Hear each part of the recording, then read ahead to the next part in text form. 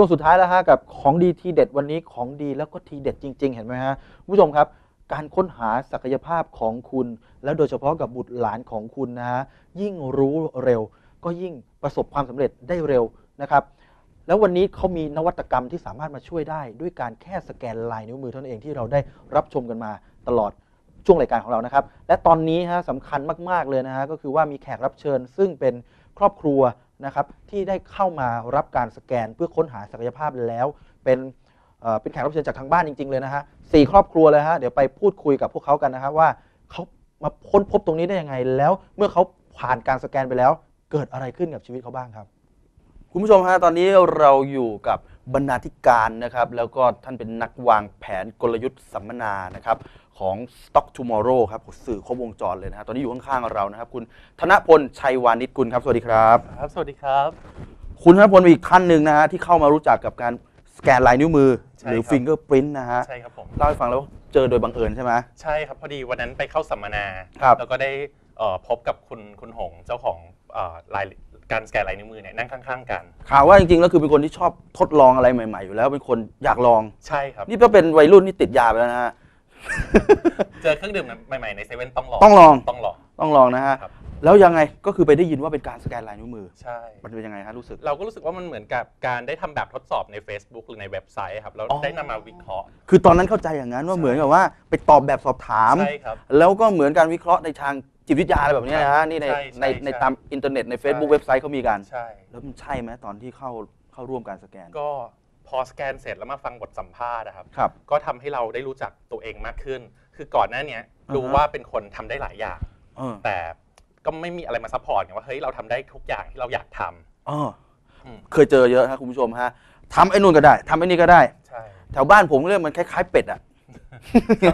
คือออกไข่ก็ได้ก็ไม่อร่อยเท่าไก่อะไรประมาณนี้เออคนละแบบกับไก่ใช่ไหมอืมร้องก็ได้ขันก็ได้บินก็บินได้นิดหน่อยครับ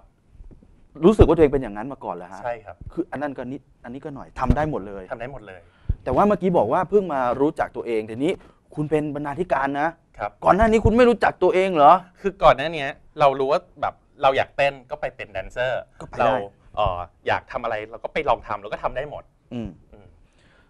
แสดงว่าชีวิตก็ ค่อนข้างจะไม่เปลี่ยนแต่ชัดเจนขึ้น ใช่ครับมคือพอเรามาสแกนลายนิ้วมือแล้วเราเห็นว่าใน 3 3 ใน 10 นิ้วของเราเนี่ยมีลาย x ลาย x ที่นักวิเคราะห์พูดถึงเนี่ยก็คือครับเป็นเหมือนค่า x ในสมการที่แทนค่าอะไรก็ได้อืมันก็สปอร์ตกับสิ่งที่ว่าถ้าเราอยากทำอะไรเนี่ยเราก็สามารถไปจับต้องแล้วก็เรียนรู้แล้วก็ทำมันได้ตามใจที่เราอยากจะเป็นอืมคือตรงนี้เนี่ยเป็นลายที่เขาเรียกลาย X เนี่ยนะฮะก็คือไม่ได้มีทุกคนใช่ครับจะมีเป็นบางคน พอเรารู้ตรงนี้เกิดอะไรขึ้น หลังพจาอกเรานั้นรู้ ตรงนี้เนี่ยมันก็ทำให้เราชัดเจนมากยิ่งขึ้น สามารถนำความเป็นเราที่ชัดเจนมากขึ้นจากการวิเคราะห์ด้วยลายนิ้วมือเนี่ยครับนำมาใช้ในงานในการทำงานเพื่อประสิทธิภาพที่สูงสุดของบริษัท แล้วก็ของของทั้งเราและเพื่อนร่วมงานได้อะคุณผู้ชมฮะในระดับผู้บริหารนะฮะการสแกนลายนิ้วมือยังทำให้ชีวิต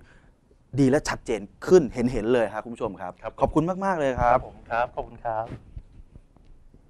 คุณผู้ชมฮะหลายท่านยังแคลงใจว่าการสแกนลายนิ้วมือหรือ Fingerprint เนี่ยนะฮะได้รับการยอมรับในเชิงวิชาการไหมตอนนี้ผมมีนักวิชาการอยู่ท่านหนึ่งข้างๆผมนะฮะท่านมาจากมหาวิทยาลัยธรรมศาสตร์นะครับท่านเป็นผู้เชี่ยวชาญเรื่องความคิดสร้างสรรค์นะครับ ดรสิริพรกอบนิธิกุลวงศ์ครับหรือดรเปิ้ลสวัสดีครับ สวัสดีค่ะ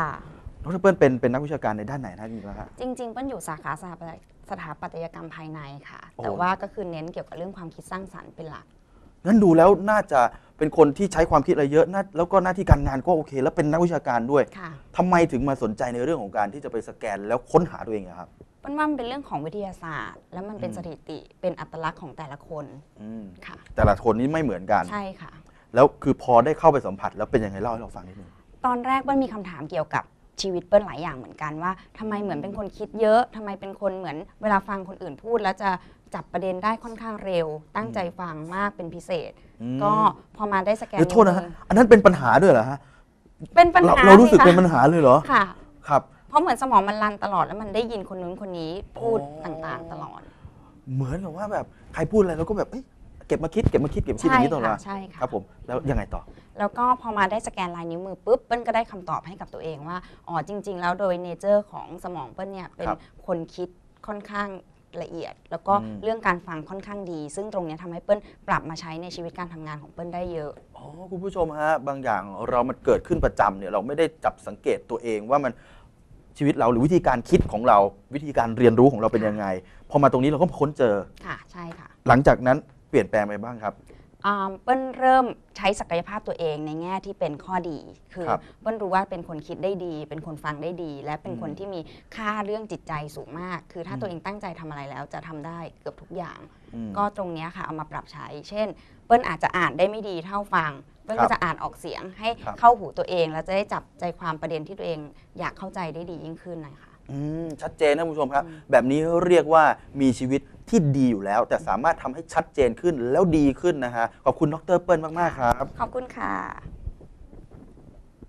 คุณผู้ชมฮะแขกรับเชิญท่านต่อไปนะท่านเป็นผู้ช่วยผู้บริหารบริษัทเวลเด็กนะครับ และท่านยังเป็นคุณแม่ลูกสองด้วยอยู่ข้างๆผมนะฮะคุณปฐมพรเกลียวสัมพันธ์ครับสวัสดีครับ สวัสดีค่ะคุณแม่ลูกสองเลยเนี่ยฮะ ค่ะ ดูไม่ออกเลยฮะแล้วไปพบกับการสแกนลายนิ้วมือได้ยังไง และเป็นไปยังไงมายังไงฮะ ค่ะ ได้พบโดยตรงกับคุณครูหง รู้จักครับ คุณครูหงค่ะ แล้วก็ได้เห็นในสิ่งที่คุณครูหงอ่าอ่าบอกว่ามันดีอย่างไรที่เราอืมเห็นศักยภาพลูกแล้วเราก็จะได้สนับสนุนไปให้ถูกทางอะค่ะเพราะเรามีลูกสองคนค่ะนะคือยังไงฮะอยากที่จะดูแลเขาสองคนไปพร้อม ๆ กัน โดยที่เข้าใจเขา ใช่ค่ะ เพราะว่า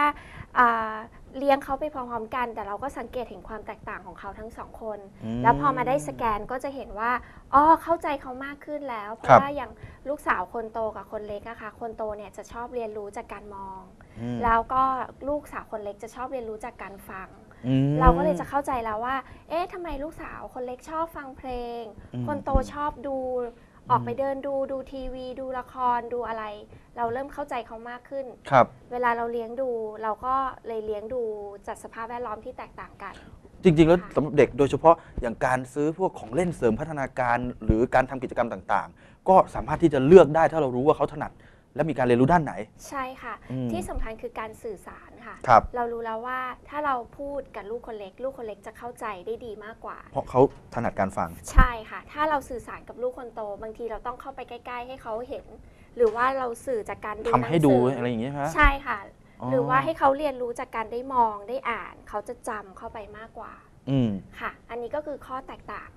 ระหว่างลูกสองคน แต่เวลาเราเลี้ยงดูเนี่ยเราก็จะรู้แล้วว่าเลือกสื่อการเรียนแบบไหน อืม ไอด้าจะชอบฟังเพลง อือฮึ ชอบเรียนรู้จาก VCD หรืออะไร อืม แต่ว่าพี่อินอาจจะชอบอ่านหนังสืออือมดูรูปเรียนรู้ในงานนะเพราะสรุปว่าตรงนี้มันก็กลับมาเปลี่ยนแปลงชีวิตใช่เราพอค่ะสมควรเลยทีเดียว ใช่ค่ะ มันทำให้เรามั่นใจแล้วชัดเจนมากขึ้น ครับ ที่เราจะเลี้ยงลูกสองคนไปพร้อม ๆ กัน ด้วยวิธีทาวิธีการที่แตกต่างกัน อืม มีเทคนิคที่ต่างกัน อือฮึ ค่ะก็ก็ครัถืบ อว่าโชคดีที่ได้ได้มารู้จัก แล้วก็ได้ชัดเจนเห็นภาพชัดขึ้นอือฮึค่ะ ครับคุณผู้ชมฮะนี่ครับบางทีเราเห็นว่าเด็กก็คงจะเหมือนเหมือนๆกันแหละ ก่อนหน้านี้เคยคิดอย่างนี้ไหมวิธีการเลี้ยงเด็กหรือการเอ่อการดูแลเด็กก็คงจะเหมือนเหมือนๆกันคิดว่าเขากินเหมือนกันนอนเหมือนกันอยู่ด้วยกันสภาพแวดล้อมเรียนรู้เหมือนกัน ใช่ค่ะ ใช้หูใช้ตาแต่จริงๆไม่เหมือนกันและมีเอ่อไม่เท่ากันนะฮะในเด็กแต่ละคนในแต่ละท่าน เพราะฉะนั้นตรงเนี้ยคือแผนที่ชีวิตของคุณจริงๆ ใช่นะฮะค่ะ ขอบคุณมาก ๆ เลยนะครับ ขอบคุณครับ ขอบคุณค่ะ คุณผู้ชมฮะตอนนี้มากันทั้งครอบครัวแล้วแขกรับเชิญของเรานะฮะครอบครัววิมูลชาติบวรนะครับมีคุณพ่อศักดา คุณแม่อาภากร แล้วก็น้องภูริศอยู่กับเราตรงนี้ครับสวัสดีครับสวัสดีค่ะ ครับคุณพ่อศักดานี่เป็นกรรมการผู้จัดการบริษัทสาพันธ์บางกอกเทรดดิ้งนะฮะส่วนน้องภูริศนี่ก็ได้รับการ สแกนลายนิ้วมือมา เรียบร้อยแล้วครับนะฮะมีหลาย ๆ บ้านนะฮะบอกว่าคุณลูกนี่ไม่ค่อยชอบที่จะไปโรงเรียนไม่ค่อยอยากจะเรียนรู้อะไร แต่บ้านนี้มีปัญหาตรงข้ามนะ เห็นเล่าให้ฟังว่าคุณลูกอยากจะเรียนไปหมดเลยครับ นะครับเอาเล่าให้เราฟังตรงนี้นิดหนึ่งมันเกิดยังไงเป็นยังไงฮะคุณแม่เอาคุณแม่ครับอ๋อก็น้องเขาก็อยากเรียนทุกอย่างเลยค่ะ อืม ขอเรียนเปียโน ขอเรียนกีตาร์ ขอตีกอล์ฟ ขอว่ายน้ำมาตั้งแต่กี่ขวบอืม สองขวบเห็นอะไรก็อยากไปหมดละค่ะอยากปั้น อืม อยากไปเล่นยิมอืม ค่ะอืมเห็นบอกวงจงวงจรไฟฟ้านี่อยากจะทำเขาหมดเลยครับผมใช่ค่ะ ครับผมแล้วยังไงฮะ ก็คือเป็นห่วงเหมือนกันลักษณะว่ากลัวจะเป็นภาระกลัวจะมากเกินไปก็เบรกคุณแม่คือเหมือนกันว่าเฮ้ยมันคือไม่ได้ห่วงเป็นภาระของเราใช่ไหมฮะที่ต้องจ่ายตังค์ให้เรียนห่วงเป็นภาระของเด็กครับโอเรียนเยอะไปไหมใช่ครับอ เอ่ออันนี้ก็เป็นเรื่องที่คุณพ่อคุณแม่ก็กังวลได้เหมือนกัน ครับผม แล้วก็มาพบกับการสแกนลายนิ้วมือ ครับพอดีไปอยู่ในกลุ่มของบีนไอซึ่งไปประชุมทุกเช้าพฤหัสคุณหงก็แนะนำว่ามีการสแกนลายนิ้วมืออม ก็เลยส่งลูกเข้าไปสแกน เพื่อจะได้เอ่อพิจารณาดูว่ามันดีไม่ดียังไง จะได้เป็นจะได้แนวทาง ดูแลเขาให้ถูกวิธีอ่าได้พาเขาไปในทิศทางที่ถูกต้องครับอย่างนี้ใช่ไหมแล้วครับ ผลออกมาเป็นไงครับ นี่นะครับผลอยู่ตรงนี้นะครับคุณผู้ชมนะครับเอามันยาวเราเอาสั้นๆแล้วกัน สรุปว่า ก็ชัดเจนเป็นยังไงบ้างขึ้นครับก็เป็นเป็นเป็นข้อมูลซึ่งจะมา support ว่าเออเขาสามารถที่จะเรียนรู้ได้หลาย ๆ ด้านอืม ก็โอเคสบายใจ เขาอยากเรียนก็ก็ส่งเสริมโดยธรรมชาติการเรียนรู้เขาเป็นอย่างนั้นเองใช่ นะครับผู้ชมฮะโดยปกตินะฮะเราจะมีค่าที่เรียกว่า TRC นะฮะอยู่ในอยู่ในเอ่อตรงนี้เนี่ยนะฮะอยู่ในรายงานของแต่ละคนนะครับ TRC นี่เป็นเป็นค่าที่เขาเรียกว่าศักยภาพแฝงที่ติดตัวมาตั้งแต่กำเนิดเนี่ยนะครับเป็น ความสามารถในการเรียนรู้ต่างๆเนี่ยเขาบอกว่ามีค่าสักประมาณ 160เนี่ยก็คือจะถือว่าเป็นเด็กที่เก่งแล้ว เก่งเก่งมากๆแล้วนะครับ คือพูดอะไรไปจำได้นะฮะให้เรียนรู้อะไรจำเร็วบอกสับอะไรจำได้ประมาณอย่างเงี้ยนะฮะบอกให้ทำนู่นทำนี่จำได้ ของน้องภูริศเนี่ยออกมา 292ทะลุเกณฑ์ไปเยอะมากเลยนะครับพอเราเห็นตรงนี้เดี๋ยวก่อนผมอยากจะรู้ว่าก่อนที่จะเข้าไปให้นักวิเคราะห์เขาวิเคราะห์ตรงเนี้ยได้บอกเขาไหมว่าครับไม่เฮ้ยน้องเขาเก่งอย่างนู้นอย่างนี้ได้ น้องเขาเรียนรู้ บอกไหมไม่ไม่ฮะไม่ได้บอก แต่ผลออกมาอย่างนี้คืเอองเราก็นะครับเราก็คุณผู้ชมต้องคบการที่จะทดสอบกันว่าเออไปสแกนลายมือแล้วจะช่วยเหลือตรงไหมด้บ้าครับแล้วแล้วสุดท้ายสรุปตรงนี้คือได้มาช่วยอะไรบ้าง เล่าให้เราฟังนิดนึงว่ามาเปลี่ยนแปลงอะไรบ้างหลังจากที่พบกับการสแกนเรียบร้อยก็จะมั่นใจขึ้นที่จะส่งเสริมให้เขาเรียนรู้ด้านต่างอืม ๆ ได้เกือบทุกด้าน ครับ นี่ก็คือดูว่าความ ไม่ได้ค่ะ ความสามารถเขาแล้วเขาอยากจะเน้นทางด้านไหนเขาจะส่งเสริมไปอีก เต็มที่เลย ครับผม เพราะเรารู้แล้วนะฮะใช่ค่ะ นั่นคือประประโยชน์ของการสแกนที่เห็นชัดครับๆอะสุดท้ายมีอะไรอยากจะพูดกับคุณผู้ชมที่ชมอยู่นี้เพิ่มเติมไหม ก็จริงๆแล้วมันเป็นเหมือนแผนที่ที่บอกเราว่าอืม เราจะนำทางลูกเราไปทางไหนอะนะคะอือฮึก็โชคดีมากเลยค่ะ ที่ได้ได้มาเจอ ครับผมบางปัญหานะครับคุณผู้ชมครับ เราอาจจะไม่ได้มองว่าเป็นปัญหา แต่ถ้าเราแบบใส่ใจลงไปในรายละเอียดเนี่ยบางอย่างถ้าเราสามารถรู้ทิศทางหรือความชัดเจนที่แน่นอน มันก็จะเป็นเหมือนแผนที่ของชีวิตของทั้งเด็กทั้งวัยรุ่นและแม้แต่ผู้ใหญ่ได้เหมือนกันเหมือนที่รายการเราคุยกันมาในวันนี้ทั้งหมดเลยไม่วันนี้แหมเสียดายเวลาเรามีน้อยนะครับ คงจะมีโอกาสหน้าได้มาพูดคุยเจาะลึกลงไปในรายละเอียดกันมากกว่านี้โดยเฉพาะอยากรู้จักน้องภูริศเห็นบอกตอนนี้พูดสามภาษาแล้วแล้วก็จะไปเรียนอีกสองภาษาเป็นห้าภาษาแล้วนะฮะ ผมดีแล้วภาษาคนผมจะพูดไม่รู้เรื่องแล้วบางทีต้องขอบคุณมาก ๆ เลยทุกทั้งสามท่านนะครับ ขอบพระคุณครับครับขอบคุณครับสวัสดีครับ จริงๆ ยังมีเรื่องราวให้คุยกันอีกเยอะนะครับ เพราะว่าทุกบ้านตื่นเต้นนะครับ เพราะว่าค้นพบในสิ่งที่อยู่ในตัวเราเองครับ ไม่ได้ไปหามาจากที่ไหนเลยนะฮะแฝงอยู่ในตัวเราทั้งนั้นครับ ถ้ายิ่งรู้เร็วว่าจริง ๆ เราหรือลูกเราถนัดอะไร รับรองครับ คุณประสบความสำเร็จเร็วแน่นอน ต้องไปค้นพบด้วยตัวคุณเองครับ ตามหมายเลขโทรศัพท์ที่ขึ้นอยู่ตรงหน้าจอตรงนี้เลยนะฮะรวมถึง Facebook ต่างๆ นี่ติดตามนะครับ เพราะว่านอกจากจะไปทดลองการสแกนลายนิ้วมือกันฟรี คุณต้องไปลองเองครับ แล้วคุณจะรู้ว่าเฮ้ย มันเป็นอย่างนั้นจริง ๆ คุณจะทึ่งกับผลการวิเคราะห์ออกมาจริง ๆ นะฮะ ฟรีด้วยนะครับ โทรไปเลยครับเบอร์นี้นะครับอะวันนี้ของดีทีเด็ดหมดเวลาแล้วครับ พบกันใหม่ในโอกาสหน้าครับ สวัสดีครับ